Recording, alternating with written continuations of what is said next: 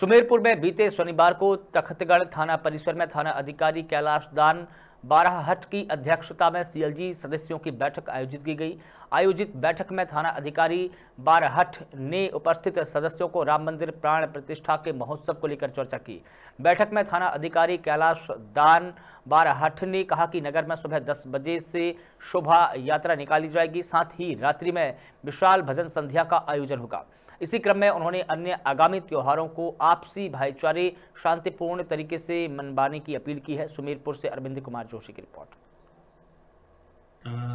श्री राम मंदिर प्राण प्रतिष्ठा के जो विभिन्न कार्यक्रम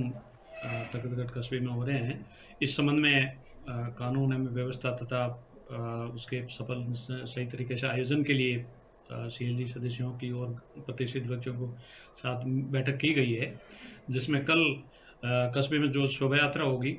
और एक रामलीला का कार्यक्रम भी चल रहा है और दिनांक 22 तारीख को भगवान राम की मूर्ति भी यहाँ की स्थापित की जा रही है और इसके अलावा भजन संध्या भी होगी। इन सभी कार्यक्रमों को देखते हुए कस्बे में यातायात व्यवस्था, कानून व्यवस्था, सुरक्षा व्यवस्था और सभी तरीके से सबके साथ सभी सौहार्दपूर्ण तरीके से करवाने के लिए सारी पुलिस और दूसरी जो भी है, जनता की सहयोग से सारी व्यवस्थाएँ करने के सबने विचार विमर्श किया गया है और सभी जो है कार्यक्रम को है शांतिपूर्ण और सही तरीके से संपन्न कराया जाएगा।